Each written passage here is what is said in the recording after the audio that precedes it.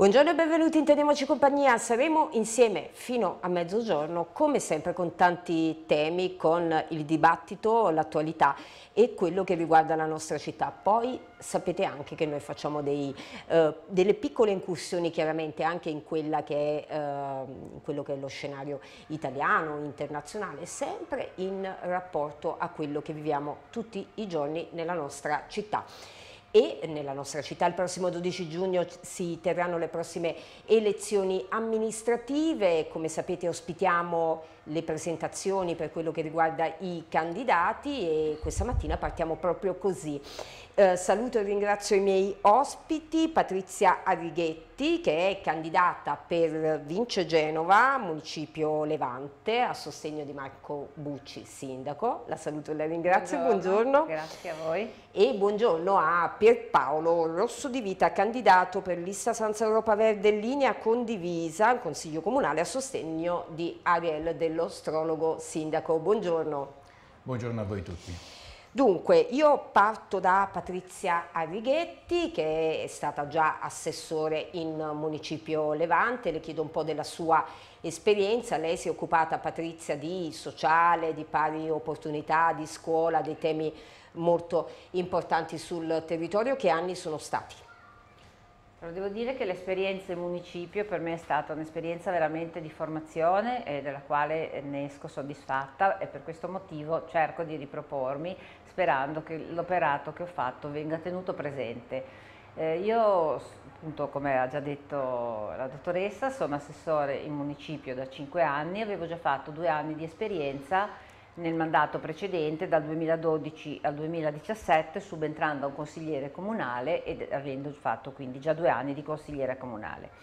Per me l'importanza del sociale degli individui come persone uniche è uno dei punti che intendo sostenere e, e accolgo sempre chi mi chiede aiuto, anche proprio venendo a parlare in municipio dove io trascorro parecchie ore, ascoltando i loro problemi e poi magari cercando di indirizzarli verso eh, enti competenti che possano aiutarli a risolvere. Uno dei primi, dei primi, progetti che ho portato avanti è stato quello del social market La Cambusa si tratta di un eh, emporio, chiamiamolo, dove le persone con possibilità ridotte possono andare a fare acquisti dei loro prodotti gratuitamente. Dico acquisti perché il sistema è proprio un sistema d'acquisto, non è la borsina preconfezionata che ti danno in tanti altri enti, in tante altre associazioni di beneficenza alla Cambusa c'è proprio la volontà e la voglia da parte delle volontarie di interscambiarsi con queste persone, quindi eh, questi utenti hanno una scheda punti dove mm, ci sono segnati i punteggi rispetto al nucleo familiare, alle esigenze della famiglia, se hanno disabili, se hanno persone con particolari difficoltà e chi entra in Cambusa acquista perché va a scegliere sugli scaffali quelli che sono gli articoli che in quel momento la famiglia ha bisogno, per cui la cosa diventa a livello molto più umano. E durante il lockdown il numero delle famiglie si è raddoppiato perché anche persone mm. che normalmente andavano avanti si sono trovate ad avere serie difficoltà anche per l'approvvigionamento del cibo.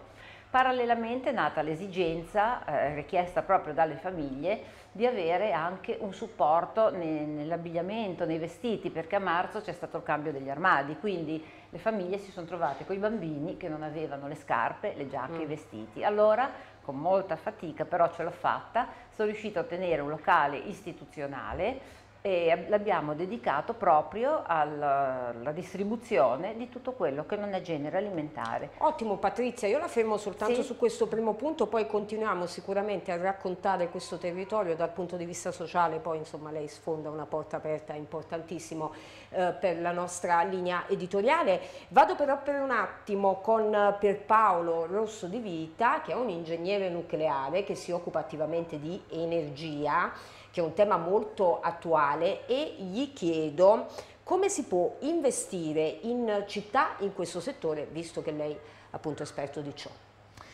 Ma il ruolo dell'energia, soprattutto a seguito delle eh, vicende ultime, è diventato ancora più pressante eh, perché vi sono dei fenomeni eh, particolarmente rilevanti a livello sociale come per esempio quello della povertà energetica cioè, eh, esiste una quota di, di, famiglie che oramai non ha più risorse sufficienti eh, per climatizzare adeguatamente eh, le proprie abitazioni. Eh, Diciamo che questo deriva da logiche di mercato che in qualche maniera il singolo cittadino difficilmente riesce a governare. Eh, però esistono dei metodi, eh, ad esempio quello delle comunità energetiche, ossia delle associazioni di cittadini che possono realizzare degli impianti di, per autoprodurre e autoconsumare energia con vantaggi non solo dal punto di vista economico perché il costo dell'energia a questo punto si svincola dalle logiche di mercato e soprattutto si riduce in maniera significativa, si può ridurre dal 30 al 50%, che dire, è una quota abbastanza rilevante. Ma la cosa importante è che se si diffonde, ad esempio, la, eh, la logica delle comunità energetiche, Genova avrà bisogno di 10, 100, 1000 impianti che, la, che sono, rappresentano lavoro per, nostra, per le nostre imprese, aumentano le commesse, aumenta l'occupazione. Questo è un modo di mettere in, dire, in rete le esigenze eh, degli, degli, attori eh, cittadini, trasformare i problemi in opportunità e in questo io ritengo che il Comune abbia un ruolo fondamentale perché è l'ente che meglio di altri conosce il territorio, ne conosce le esigenze e meglio degli altri è in grado di capire come si possono combinare queste esigenze e chi deve mettere attorno al tavolo per, ehm, per, fare in modo che questo progetto si, sviluppi. Comunità energetiche da una parte, imprese dall'altra, banche che in qualche modo devono contribuire prestando i soldi per realizzare questi impianti. Ora questo è un esempio, ve ne sono altri, ad esempio si può parlare di come combattere la, uh, la, le, le, le, diciamo, il, la, fuga dei nostri giovani dalla città eh, cercando di far ripartire la grande industria del settore energetico. La conversione green richiederà grandi quantitativi di componenti, pannelli fotovoltaici, eolici, Forse è il caso che anziché andarli a comprare dagli svedesi per quanto riguarda gli eolici oppure dai cinesi o giapponesi per quanto riguarda i pannelli fotovoltaici, noi abbiamo un'industria che faceva questi mestieri, abbiamo una Fincantieri che è in grado di, di realizzare opere a mare. Quindi lei quindi... dice, insomma, andiamo a, a prendere sul andiamo, territorio cioè, quello che è la tradizione la industriale nella nostra città che farà in modo che per cui i nostri giovani non dovranno più scappare perché il lavoro di qualità lo trovano in città. Andiamo su Patrizia eh, Arrighetti, sulla questione, sulle questioni insomma, che ci stava esponendo del municipio Levante. Lei si è occupata anche di scuola, di pari opportunità sì. e temi che peraltro riguardano chiaramente tutta la città. Ma come le ha declinati certo. sul territorio?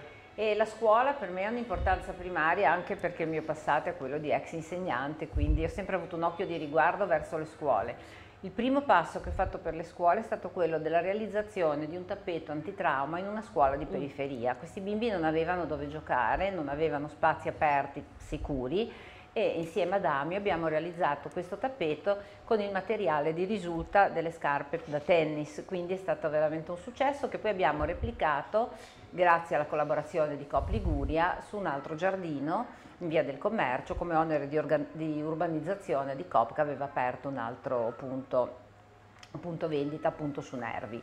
E con le scuole eh, una cosa che ho portato avanti e che purtroppo poi ho dovuto interrompere con il Covid è stata quella dell'istituzione del Consiglio dei ragazzi e delle ragazze. Mm. Ne sentivo parlare giusto due sere fa eh, proprio da una collega che diceva che sarebbe molto bello portare questi ragazzi all'interno del, del municipio, delle istituzioni per fargli capire questo consiglio eh, è stato proprio costituito um, identico a quello che è il consiglio municipale, cioè è stato eletto un presidente, sono stati eletti i consiglieri e i ragazzi hanno proposto tematiche relative all'ambiente, al fenomeno del bullismo e del cyberbullismo, a tematiche sociali. Poi tutto questo avrebbe dovuto essere raccolto mm. insieme agli insegnanti e diventare un unico progetto da presentare al municipio che avrebbe cercato comunque di portarlo avanti c'è stato il Covid e ci siamo interrotti. Il Covid da questo punto di eh, vista, da questo punto di vista ha interrotto proprio tutte queste nostre iniziative. iniziative. Ehm, Rosso di Vita eh, prima mi, mi, lanciava uno stimolo interessante rispetto alla tradizione industriale di Genova. Ehm, si è tentato, e si tenta ancora, diciamo con discreto successo, di puntare sul turismo nella nostra città. Secondo lei a percentuale 10 invece quanto bisognerebbe ritornare a puntare sull'industria, tra i due? Ma sicuramente aver scoperto una vena turistica della nostra città è utile perché significa aver portato una nuova attività che genera poi posti di lavoro e eh, ricchezza, porta ricchezza nella nostra città. Però abbiamo visto che in questi anni eh, il solo turismo non è riuscito ad invertire quella fase di declino che oramai ci portiamo avanti da 30 anni e che nasce dalla morte della grande industria di Stato.